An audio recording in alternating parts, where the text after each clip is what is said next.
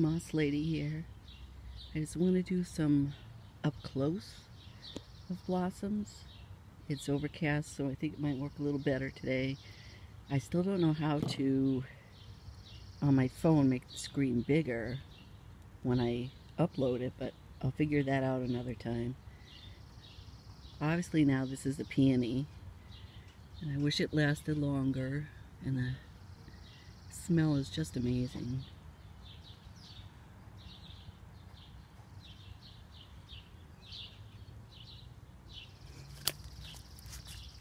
These are Weigela blossoms.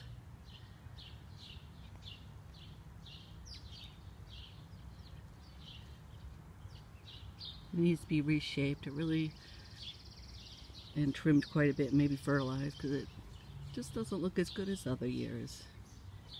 There's so many factors. It could be the winter, it could be that it's old, it's an old uh, shrub.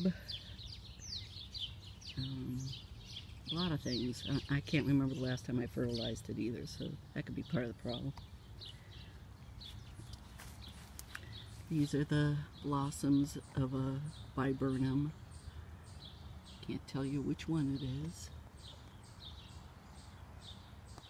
I'm pretty disorganized with my labels. I always say I'm going to get more organized and it doesn't happen. Oh, and there's some um, gypsy moth caterpillar damage. Okay. The forget-me-nots are going so pretty well. They last. Lasted, and I love how they pop up everywhere. Well, the bunny's been through here. At some point it, it won't chomp as much. And here's the leaves of a kind of tansy. I love the foliage, but not real crazy about the, the yellow. I guess it's okay. Spreads quite a bit. Here's the blossom of sourgrass, which is really kind of pretty orchid-like. But that stuff spreads everywhere. It drives me crazy. Let's get rid of that. Bye-bye. Okay. There's allium. Love the seed pods when they dry. Just some ground cover.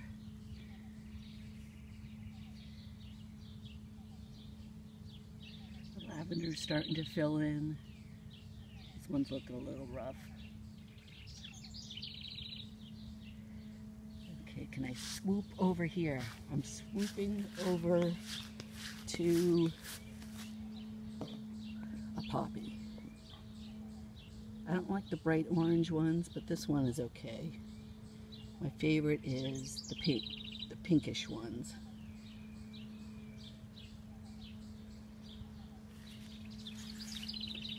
And I have other poppies that will come up here at different times.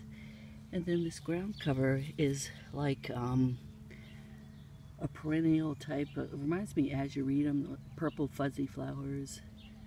And that comes like late summer. So we get the poppy blooms now and some other color. And then that fills in. Trying to get some color for all seasons. Here's a newer hydrangea Thought it was so pretty. And I'm going to be adding some acid to one side and alkaline to the other just so I get a variety of blossoms.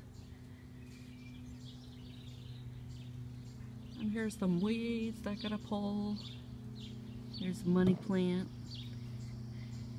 Pretty purple flowers and now it's the seed pod stage and eventually it'll be white. Try not to step on everything. There's another kind of allium that I like. Um, just to think it's amazing. Amazingly beautiful and how it hangs.